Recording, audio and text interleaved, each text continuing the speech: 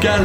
La suite avec Stéphane Houdet, euh, triple champion olympique, 4 Olympiades, Paris 2024 qui arrive. Euh, Stéphane, vétérinaire, euh, un accident de moto, reprise du tennis en e-sport. Il y a quelque chose qui est surprenant quand on, te, quand on te suit un petit peu. Bon, ça fait une douzaine d'années qu'on se connaît. Je t'ai vu faire progresser le matériel parce que tous tes adversaires sont assis, sont sur leurs fesses. Toi, tu as, tu as fait en sorte que tu sois sur tes genoux parce que tu as une plus grande amplitude avec des bras. Pourquoi tu t'es lancé dans cette, dans cette recherche technique? Parce qu'il y a beaucoup de chercheurs et d'ergonomes qui travaillent avec toi. En fait, c'est une démarche super simple qui correspond à ce qu'on se disait au début, à savoir que moi j'ai appris à jouer debout. Donc quand euh, j'ai découvert le tennis au roulant, mon idée directrice était de retrouver les sensations que j'avais quand j'étais un joueur debout. Et, je, présentais mon projet à une équipe de chercheurs en disant partons d'une page blanche. Moi j'ai le souvenir qu'avant je faisais un coup droit comme ça, je faisais un revers comme ça. Est-ce que vous pourriez me faire rouler? Et il se trouve que la position la plus euh, ergodynamique euh, ou, ou, dynamique pour jouer biomécanique mhm. pour jouer au tennis en roulant est une position où le bassin a cette, euh, cette, euh, cette position, ce qui permet d'avoir une torsion entre le haut et le bas du corps qui génère de la puissance. De la puissance dans les coups, mais aussi de la puissance dans le déplacement du fauteuil. Donc tu es sur les genoux euh, Donc je suis sur les genoux. Mais en fait, c'est ce qu'on propose quand on est ergonome pour les gens qui ont des problèmes de dos au bureau, c'est d'avoir des, des, des, fauteuils où ils sont sur les genoux. là, tu, ben, ça t'a permis de continuer parce que on va pas se le cacher, on est un petit peu de la même génération, t'es cinquantenaire, tu commences à affronter des gamins qui pourraient être tes enfants. Euh, ça se passe comment la relation quand tu les croises euh, à Londres pour Wimbledon, à Sydney pour l'Australie ou New York et tout ça? Alors c'est fabuleux parce qu'en fait euh, c'est d'actualité, mais le, Masters vient de se terminer et c'est un jeune de 16 ans ah. qui vient de gagner. Donc je faisais le calcul que j'avais plus de trois fois son âge. Et en même temps, souvenir de, notre partie de double à Tokyo, euh, les trois euh, autres joueurs avec moi sur le cours, je leur rends parfois 30 ou plus de 20 ans. Et je crois que j'étais le moins fatigué de la bande. Je trouve que cette position assise fait aussi que le poids du corps est supporté par la machine et qu'on n'est jamais dans le rouge sur le plan cardiaque. Donc on peut jouer euh, très longtemps, très longtemps au cours d'un match et probablement aussi très longtemps au cours d'une carrière. C'est la raison pour laquelle je te parlais de Brisbane en 2032. Tu as eu la chance, sans, vouloir déplorer le sujet et rentrer dans ton intimité, la chance de rencontrer des grandes personnalités. Et j'ai souvenir d'un jour où tu m'as téléphoné en me disant est-ce que tu aurais une cravate noire parce que tu avais gagné Wimbledon et tu devais aller à Londres parce que vous étiez reçu par la reine ou par le premier ministre ou je ne sais qui. Euh, je sais que tu as trouvé une cravate noire parce que j'ai vu des photos. Ça n'était pas la mienne parce que je n'en ai pas. Ça se passe comment quand on rencontre des Djokovic, des Nadal, la reine d'Angleterre euh, tu es fait euh, officier de, de, la Légion d'honneur. De la Légion d'honneur, voilà, j'ai tellement peu l'habitude. Qu'est-ce que ça fait? Parce que tu n'imaginais pas tout ça. Non, certes. Et alors pour être plus précis sur cette histoire de, Cravate? de, Non, de, reine d'Angleterre. C'était le premier voyage officiel en France du prince D'accord. et de son épouse, donc c'est Kate, et, euh, le prince euh, William. Le prince William, qui sont venus à l'ambassade d'Angleterre. D'accord. Euh, et donc j'étais invité à l'ambassade d'Angleterre. Euh, bah, ce, qui est fantastique, c'est que tous les deux on se retrouve aujourd'hui euh, dans cette cuisine et que finalement on pourrait très bien les avoir à côté de nous. Ce sont des humains comme les autres et s'il y a un peu de cérémonial autour, ça ne change pas euh, la relation humaine. Il faut savoir raison garder. Exactement, exactement. Donc c'est ce que j'aime quand je me retrouve avec un Rafa ou un Novak ou un Roger Federer dans les vestiaires et un Roger. Une petite anecdote avec Roger. J'en ai aussi avec Rafa, mais la meilleure avec avec Roger qui va changer très bientôt. Peut-être qu'on en parlera juste après. Mais Roger m'a interpellé dans les vestiaires euh, à New York en me disant Tiens, tu sais, Stéphane, la première personne à laquelle j'ai pensé quand j'ai appris que j'allais avoir une deuxième paire de jumeaux, c'est toi puisque tu étais la seule personne au monde que je connaissais qui avait aussi deux paires de jumeaux. Ouais, t'as deux enfants. Et donc j'ai dit, euh, j'ai dit, euh, bon, bah, faut qu'on crée l'association des vainqueurs de Grand Chelem qui ont euh, deux paires de jumeaux. Ça fait quoi quand on se retrouve numéro un mondial, quand on est assez discret, pas timide mais assez discret, mais efficace comme toi C'est c'est un rêve d'enfant qui est réalisé. On, fait comment pour se pour garder cette motivation, pour pour rebondir d'Olympiade en Olympiade et de titre en titre? Bah, je pense que c'est très simple, c'est que le dimanche on a gagné, mais que le lundi il y a un nouveau tournoi et que les autres ont qu'une seule envie, c'est de vous battre. Donc pas question de se reposer sur ce laurier, pas question de pleurer sur notre sort, la vie continue, euh, les étoiles continuent aussi, euh, ou la Terre continue de tourner. Et puis mon père me l'a toujours appris, mais quand on prend un peu de recul, euh, on n'est qu'un grain de poussière dans cet univers. Est-ce que l'accident a changé quelque chose psychologiquement chez toi, cet accident de moto qui a fait que tu as repris le tennis en fauteuil et que tu as en devenant professionnel, arrêter ton métier de vétérinaire? Oui, je pense que très concrètement, ça a développé une philosophie que j'avais déjà, mais qui est devenue encore plus. Qui a Ça l'a exacerbé, plus de place, ça ça l'a exacerbé. Je pense que les accidents sont des catalyseurs des personnalités, et chez moi, ça me fait me dire que euh, euh, soit les choses sont vitales, auquel cas elles sont importantes, soit elles ne le sont pas. Donc euh, moi, je ne vois toujours que le verre à moitié plein. Il y a quelque chose que je vais déflorer quand même parce que été euh, un jour invité chez toi pour, euh, pour dîner et tu nous, as emmené, tu nous as emmené les chips, les olives, le tarama dans, dans ton super plateau en argent que tu as gagné à Roland Garros. Et je me suis dit, ouais, en fait, c'est un plateau dont c'est bien exposé, mais quand il y en a besoin, tu t'en sers. C'est pas quelque chose qui est sacralisé, mais c'est respecté. C'est ça? Parce que c'était Oui, drôle que tu nous amènes les chips sur le plateau de Roland Garros. Oui, évidemment, ah, il n'y avait pas de tarama parce que j'aime pas ça. Ah bon Mais, mais c'est de redonner à l'objet sa fonction. Et puis euh, c'est aussi dans une dynamique de partage. Ouais, non mais c'était- très euh, sympa. ouais. Tu, tu nous as permis à parents qui te connaissions de, de l'amener à l'école de nos enfants pour leur montrer, pour le montrer aux enfants, pour parler de sport. C'est quelque chose, c'est quelque chose qui, qui, qui tient à cœur. J'ai l'impression, non pas de parler du handicap, mais de faire en sorte que la différence paralympique, olympique et handicap valide soit de plus en plus infime. Tu, tu souhaiterais même peut-être que les valides jouent contre les paralympiques ou, ou les, les personnes en fauteuil au tennis, par exemple. C'est ça? T'as des envies? Oui, oui, là, euh, ce que j'aimerais, c'est que nous puissions créer des sports qu'on pourrait partager.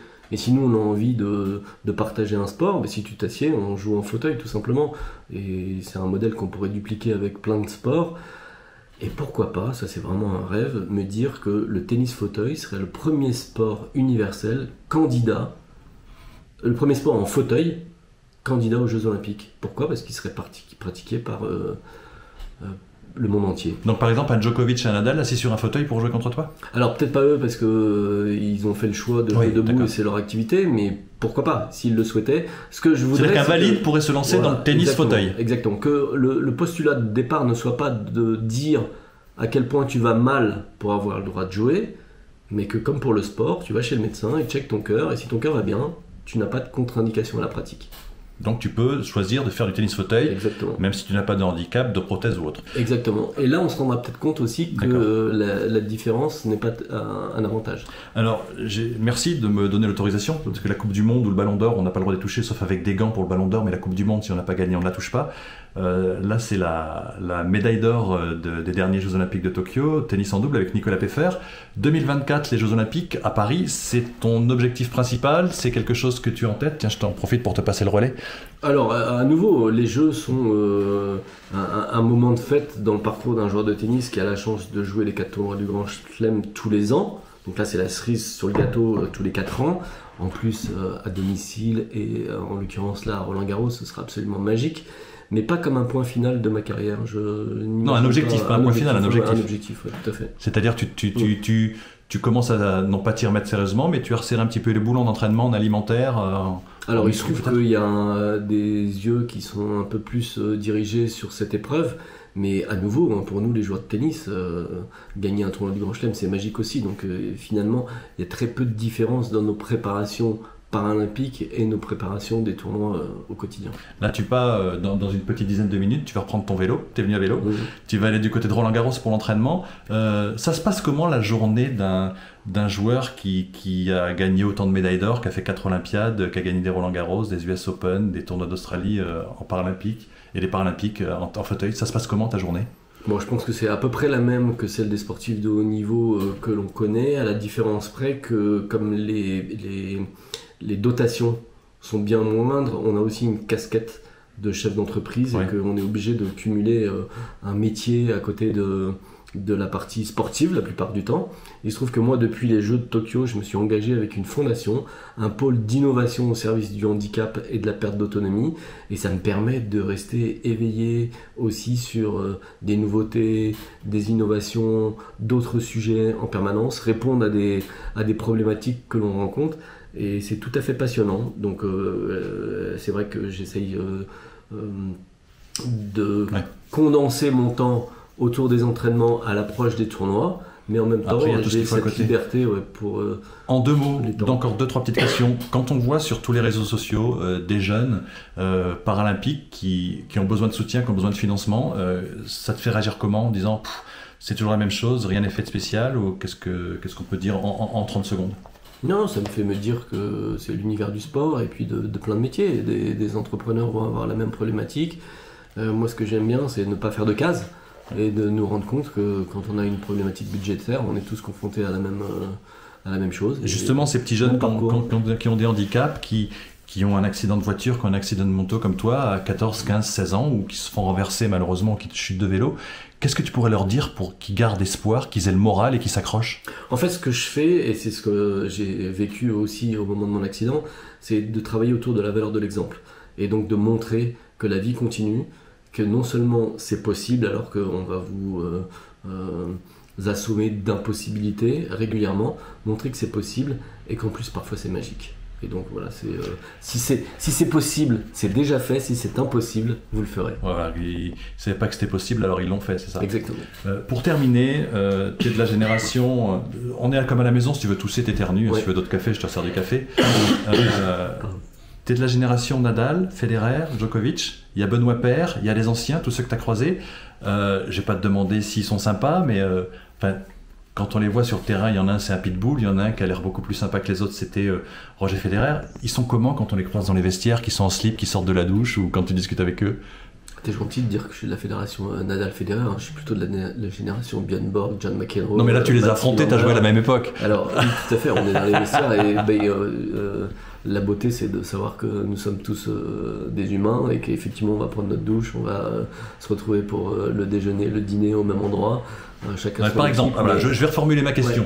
Gérard Depardieu, avant une prise, il raconte une grosse blague, il pète, il rote, il s'amuse, et dès qu'on dit tourner, boum, ça part. Est-ce que les joueurs comme Nadal, comme Federer, c'est tout un processus psychologique, ou alors ils sont détendus dans les vestiaires, et puis dès qu'ils rentrent, boum, ça devient des tueurs? C'est un super exemple euh, avec celui de Gérard Depardieu, parce qu'effectivement, on va avoir un Raphaël Nadal qui va jouer au petit chevaux euh, dans les moments creux de sa journée, mais y compris quand euh, il y a la finale le soir, donc il a cet entourage familial. Au petit chevaux, c'est génial. il joue au petit chevaux à, chaque fois, je pense que ça fait partie de ses routines, et donc il y a cette atmosphère familiale détente, et en revanche, euh, juste avant le match, on voit euh, mettre son casque sur les oreilles dans les vestiaires, commencer à bouger dans tous les sens, partir dans la salle de gym, faire des exercices et puis devenir euh, celui qu'on connaît une fois qu'il arrive sur le cours. Et il y a d'autres routines? Toi, tu en as, Roger Federer en avait, certains joueurs te... surprenantes peut-être, je sais pas? Bon, je pense que Rafa, c'est le pro de la routine parce qu'y compris quand il se touche les sourcils. Qui remonte ses manches, le short et tout ça. Ça correspond à une routine, ça lui permet de, de, de ne pas penser qu'il va gagner son 13e, son 14e, son 15e, son 22e Grand Chelem et donc d'être dans l'instant présent à chaque fois. Ça se voit peut-être un peu moins chez un Roger Federer, mais il est évident qu'il a aussi euh, des routines qui sont ancrées où il sait où il va mettre sa balle et où il va euh, agir. Euh, moi, j'ai tendance à passer du coq à assez rapidement et, et c'est un vrai travail. Et je pense que celui qui arrive le mieux à faire ça, c'est notre modèle, c'est Rafael Nadal. D'accord. dernière question justement, puisqu'on parle de, des joueurs qui ne sont pas de ta génération, mais que tu as croisé sur tous les terrains du monde, cette image sublimissime à la Rod Lever Cup, à la Lever, Lever Cup, sur le, sur, le, sur le canapé, où tu as Roger Federer qui cherche la main. De, de Tu vois, tu as, les, larmes qui montent. C'est l'image de l'année. Ça, ça a provoqué quoi chez toi ces, ces deux champions qui se sont affrontés euh, C'était encore peut-être sur plus long, long terme que Björn Borg et John McEnroe.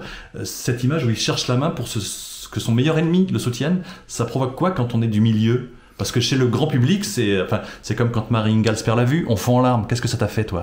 Mais en fait, c'est euh, l'image que j'aime du sport, c'est que euh, ce ne sont pas les pires ennemis, ce ne sont pas euh, les plus grands rivaux, ce sont des gens qui ont besoin l'un de l'autre, puisque celui qui va challenger le premier va permettre au deuxième de progresser. Et donc quand il cherche la main, il cherche. Et c'était magique d'avoir cette opposition. Moi je pense toujours à ma, rivalité avec Shingo Kunieda. C'est, oui, c'était euh, qui était numéro 1 quand tu étais numéro 2 et inversement. C'est empreint de respect parce qu'on a en face de nous quelqu'un qui nous permet de devenir meilleur. Et donc ça c'est. C'est la magie de, du sport. Et tu as gagné ton premier euh, tournoi en double avec euh, justement Monsieur Kunieda qui était numéro 2, tu étais numéro 1 inversement. Ça vous a permis d'être tous les deux numéro 1, numéro 2, numéro 1 en double. C'est comme euh, ça C'est pas tout à fait ça. C'est quand j'ai gagné mon premier Roland Garros, euh, en le battant en finale, je suis devenu numéro 1 en simple. Et ensuite, on a gagné tous les deux euh, l'épreuve de double. Ouais, tout à fait. Qu'est-ce qu'on peut te souhaiter pour 2022, 2023, 2024 ah bah, je crois qu'il y a un heureux événement à venir euh, dès le mois de janvier et que ce sera euh, le plus beau des cadeaux euh, du début de l'année. Merci Stéphane d'avoir pris le temps d'être avec nous dans Calme. On va se, ben, se souhaiter bonne chance pour de Paris 2024. Voilà. À très bientôt. Merci François. Avec plaisir. C'est Calme, comme à la maison, retrouvez sur YouTube et n'hésitez pas à vous abonner. On retrouve Stéphane Houdet sur les terrains, Roland Garros et les Jeux Olympiques Paris 2024.